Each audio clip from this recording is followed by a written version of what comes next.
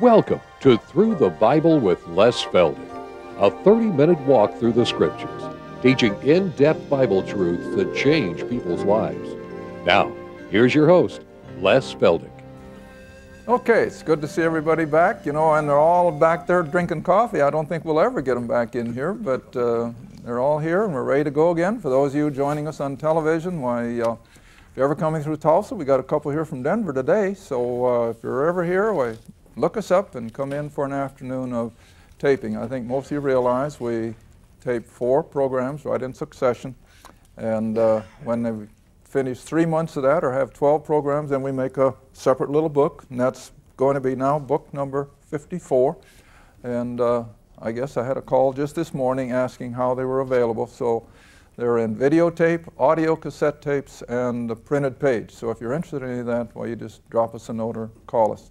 Also, we'd like to again uh, thank our television audience as well as everybody in here, of course, that contributes and uh, helps us pay the bill. We just appreciate it so much. But more than that, how we appreciate your prayers because prayers still avail much. And so we do. We covet your prayers and uh, we thank you for uh, letting us know how the Lord has transformed lives, and whole families will write and tell us. Even the kids will write their testimony, how they've come to know the Lord just through that television program. So we just praise the Lord for all that. Okay, I think that's it, isn't it, honey? Okay, let's go back where we left off, James chapter 4. And uh, remember, if you're just tuning in for the first or second time, James is written to the 12 tribes scattered so it is primarily Jewish, and uh, there's hardly any church language. In fact, I said last time, there's no church language in here. Uh, James, I don't think, makes one single reference to the blood of Christ, to the atoning, to the resurrection. None of that. And uh, remembering, of course, that James is probably the earliest New Testament book written. Maybe Matthew preceded it, but all these little Jewish books, I think, were written early on before they had an understanding of the doctrines revealed later to Paul. So uh, we're going to be comparing as we finish the little book of James and even go on into 1 Peter how it is so completely different, not contradictory, but totally different from what Paul writes to us as Gentiles. All right, so James chapter 4, remembering now he's writing to Jewish believers, probably scattered in the area of what we call Turkey. and he says in verse 4, Ye adulterers and adulteresses. Why, does that sound familiar? You know, I said when we began the study of James and Peter and John that you're going to find a lot of likenesses with the four Gospels. And Jesus addressing the Jews in his earthly ministry. Well, here's one of them. Isn't this exactly what Jesus referred to the Jews in their wickedness? You adulterers and adulteresses, know you not that the friendship of the world is enmity with God? Whosoever therefore will be a friend of the world is what? An enemy of God. All right, now let's see how again Paul puts it. We're going to be comparing back and forth because I think that's the best way to see the vast differences in uh, what we call the doctrines of Paul, and for us as Gentiles, as over against what the writers in the little Jewish epistles are saying. Come back with me to Romans chapter 8. We might as well start at verse 5, hon. Romans 8, let's just start at verse 5. Romans 8, verse 5. Romans 8, verse 5. For they that are after the flesh, the old Adam, they mind the things of the flesh. But they that are after the Spirit, in other words, they've become a believer and the Holy Spirit has now indwelt them. But they who are after the Spirit do mind the things of the Spirit. Now here it comes. For to be carnally or fleshly minded, just like James says, is enmity against God. The two will not cohabit. You cannot have the enemy's attitude of the world as part and parcel of, of God. He'll have nothing of it. All right? So the carnal mind is enmity against God, for it, the carnal mind, is not subject to the law of God, neither indeed can be. You know, I think way back when I taught the book of Romans, and I was probably in chapter 8, I, I gave the little illustration. If you're living in a neighborhood of middle class people who have a halfway decent income, and your neighbors are all in the same income level as you are, and one of your neighbor's kids comes and uh, he approaches you and says, Hey, I'd like to have a new bike. Would you buy one for me?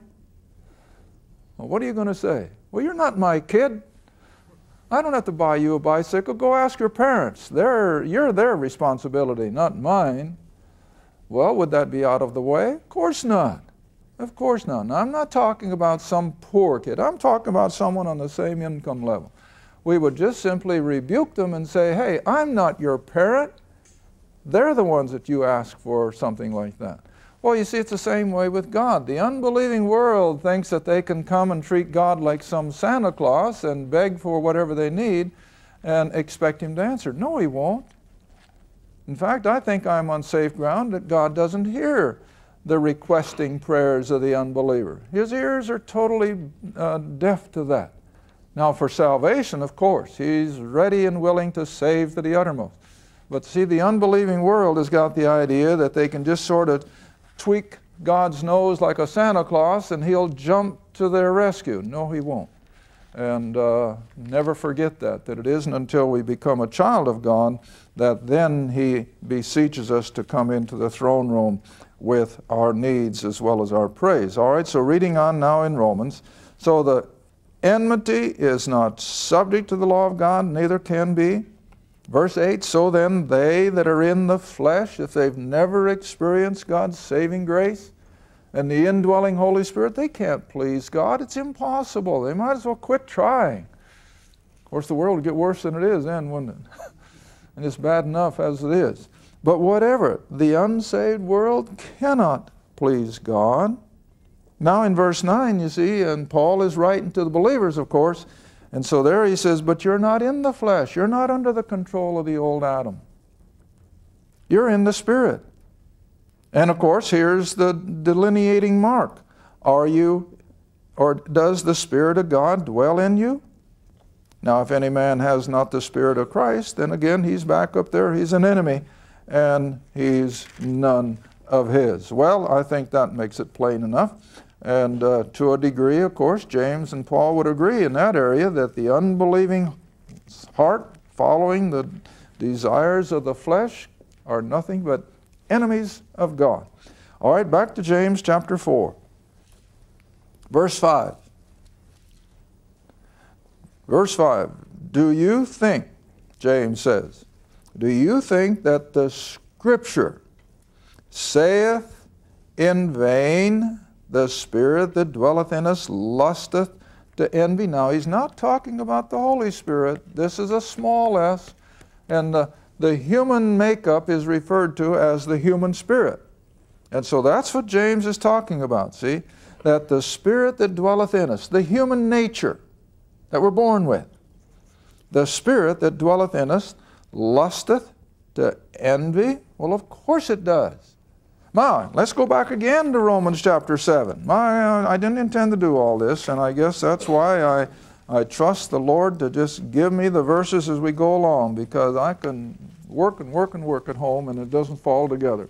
But when I get up here, here it comes. Okay, Romans chapter 7.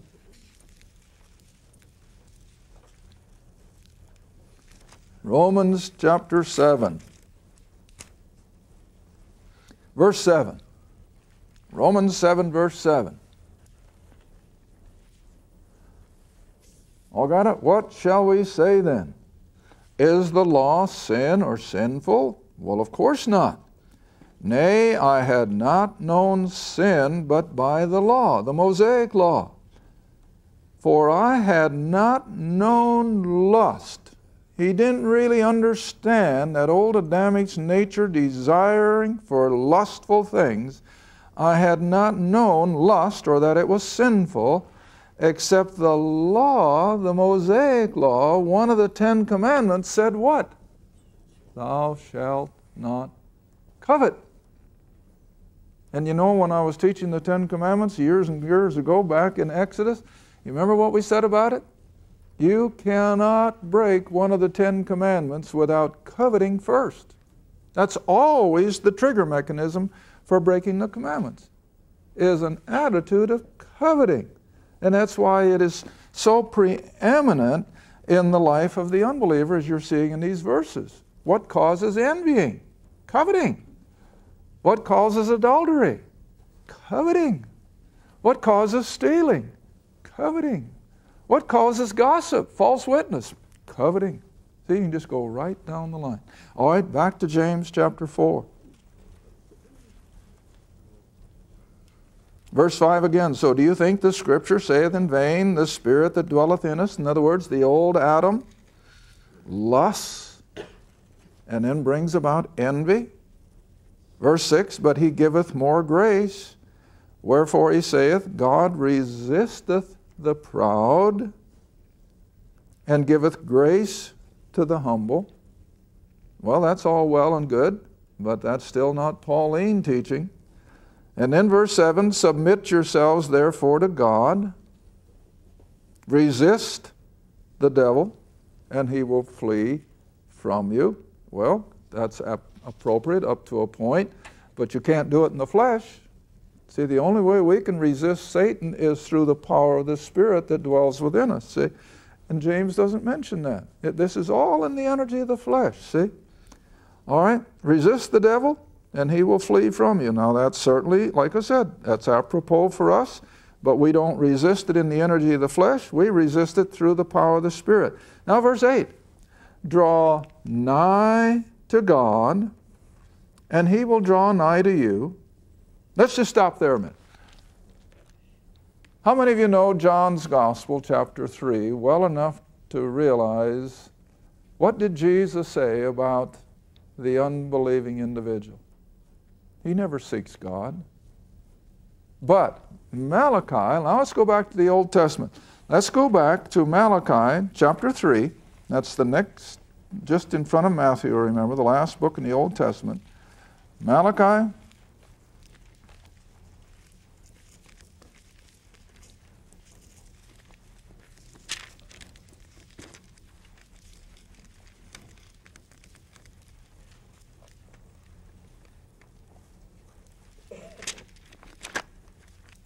Got a wrong verse. Bear with me. Chapter 3, verse 7. Yeah, I was looking at verse 4. That's why it didn't look right. Okay. Malachi 3, verse 7. Now, this fits perfectly with what James is saying, see? Even from the days of your fathers, you are gone away from mine ordinances, and you have not kept them. See, I mean, the Jews have always had these kind of problems, as well as the rest of humankind. We're not putting the finger on the Jews alone as being guilty, but as God's covenant people, you would expect more from them. But they were just as guilty as the rest of the world. All right, so here we have it. You have not kept them. Return unto me, and I will return unto you, saith the Lord of hosts.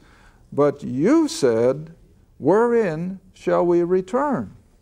Well, you see, the onus was left on the, on the back of the Jewish people that they were to make the first move and return to God. And if they would make a move to return to God, he in turn would, I guess you could say, would meet them halfway. But now stop at John's Gospel a moment. John's Gospel, and uh, 1 chapter 3 dropping in at verse 19. John's Gospel, chapter 3, verse 19. Now, here I think the Lord Himself in His earthly ministry is telling it like it really is. John's Gospel, chapter 3, drop in at verse 19. And this is the condemnation that light is come into the world. And of course, speaking of himself, he was that light that lighteth every man that cometh into the world. All right, this is the condemnation that light is come into the world, and men loved darkness rather than light, because their deeds were evil. Verse 20 For everyone that doeth evil hateth the light, neither cometh to the light, lest his deeds should be reproved. But he that doeth truth cometh to the light, that his deeds may be made manifest, that they are wrought in God. For the, so the point I want to make is that the unsaved person will never seek God.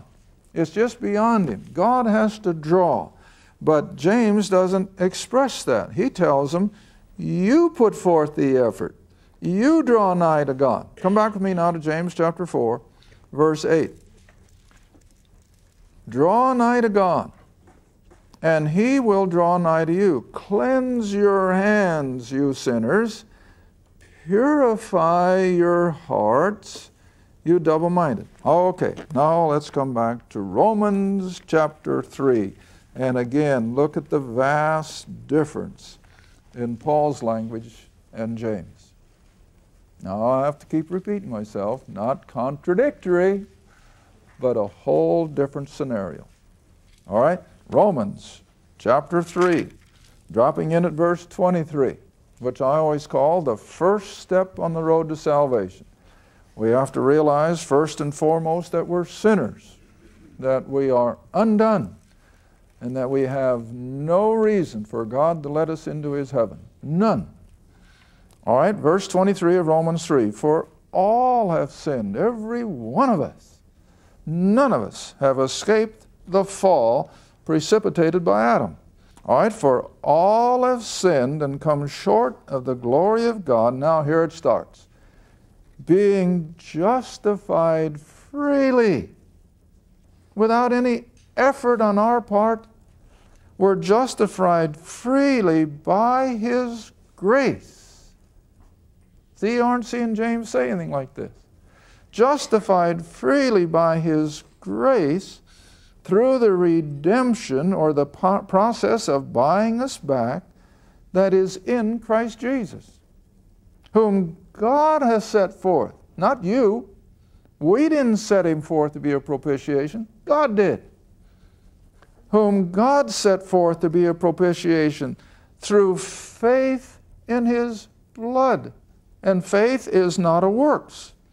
Faith is just simply a trusting of what God has said to declare his righteousness for the remission of sins that are past through the forbearance of God. Now, verse 26. My, the more I think about this verse, the more I love it. To declare, I say at this time, his righteousness, not mine, not yours, his righteousness. And what does his righteousness bring about? That he, God, might be what? Just what does that mean? Fair. Not cutting any corners, not asking for bribes, not doing anything, as we would say, uh, out of the corner of the mouth, but it is strictly fair and just. And in that justness, he can justify the person that tries to do better, as James says. No. What person? The one who believes. See? The one who believes. In fact, I was just sharing this morning with our guests. You've heard me use it on the program. Those of you in my classes, I'm always using if you're on a on an airliner. Now I couldn't with uh, with Diane because she's deathly scared of flying, won't fly anyway. But I couldn't use an airliner for her. But nevertheless, I usually say now if you're getting on a huge airliner, and Iris and I have been there, and you finally find your seat and uh, we'll say it's almost to the rear. And you sit down, buckle your seatbelt, and boy, after about two minutes, you unbuckle that seatbelt, you barrel all the way up to the front, you find the pilot. Is this the plane that's going to such and such a place? Yes, you're on the right plane. Just go sit down and relax. So you go back to your seat, buckle your seat belt, and within five or ten minutes, all of a sudden the sweat starts, and you go back to, up to the front and ask again, Am I on the right plane? Is this really going where I want to go? Yes, just go and sit down and relax. Well, you see, that's what people are doing constantly in the spiritual realm. They're just trying to establish am I on the right track? Am I really going to get into God's heaven? But you see, Paul makes it so concrete that when we trust the gospel, we can sit down and relax. And we don't have to fret and fume. That doesn't mean we sit down and not work. Now, don't misunderstand me. We're not saved to just sit and do nothing. But I'm talking about the assurance of salvation. Once we have trusted that finished work of the cross, hey, that's it.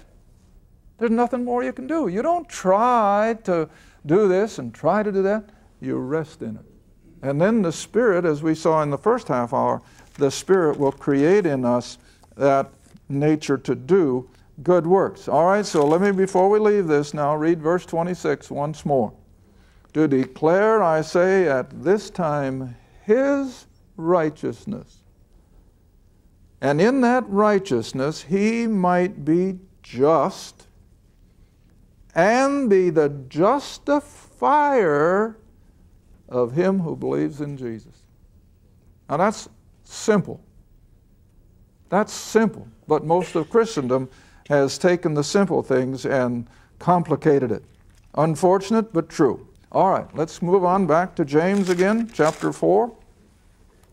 So the implication here in verse 8, draw nigh to God, is just like he told Israel back in the Old Testament draw nigh to me, and then I'll draw nigh to you. But under grace, that's not the situation. God has already extended salvation freely, and all we have to do is believe it. Okay, read on in verse 8 Cleanse your hands, you sinners. See, it's something that they have to do. Purify your hearts no, we're not purified. We're purified now by faith. See? All right, purify your hearts, you double minded. Be afflicted and mourn and weep. Let your laughter be turned to mourning and your joy to heaviness. Humble yourselves in the sight of the Lord, and he shall lift you up. All right, now maybe this is a good place to stop for a minute again. We were rehearsing it at break time between the programs.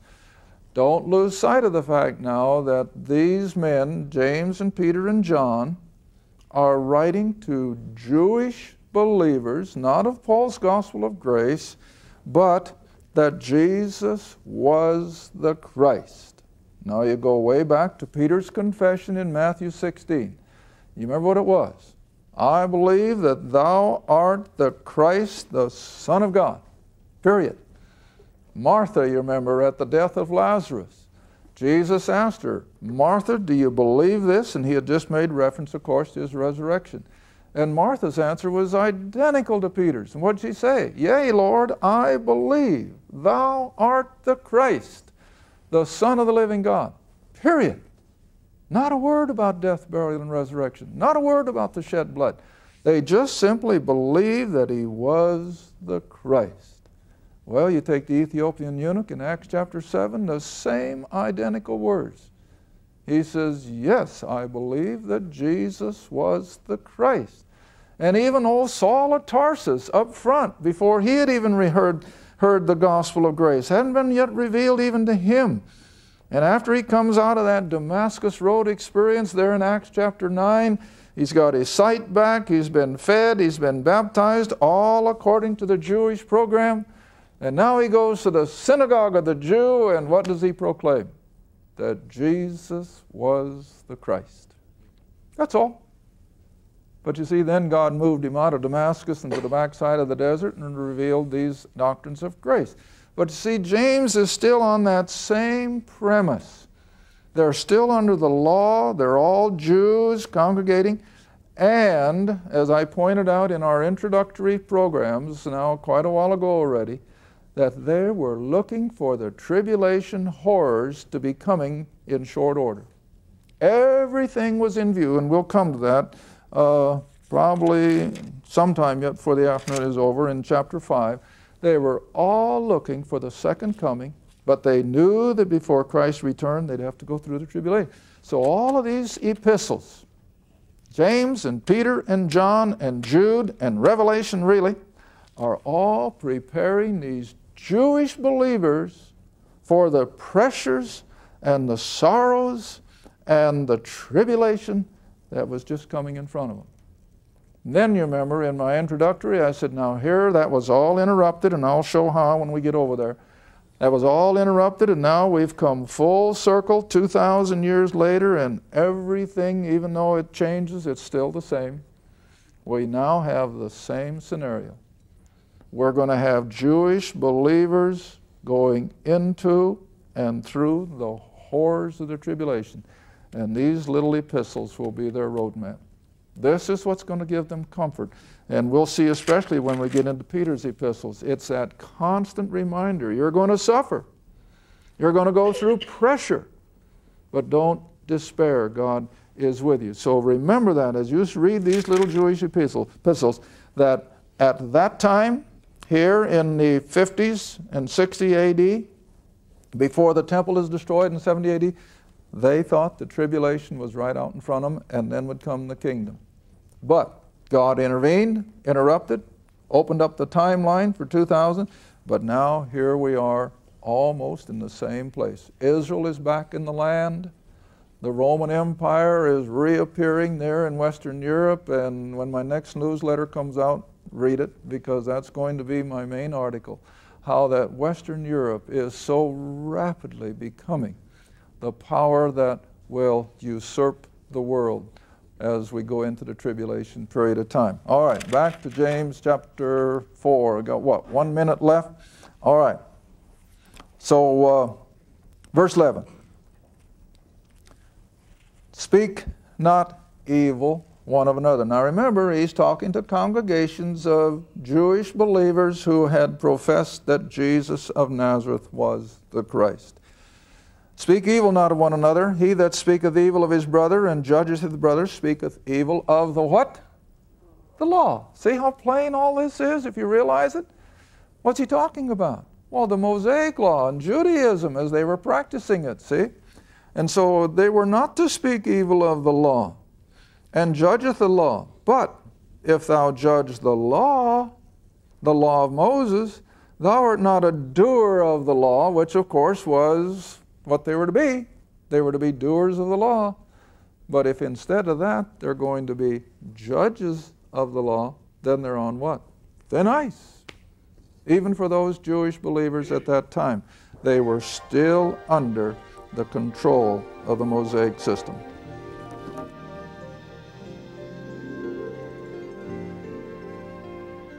Thank you for watching Through the Bible with Les Feldick. Through the Bible is a partner supported ministry.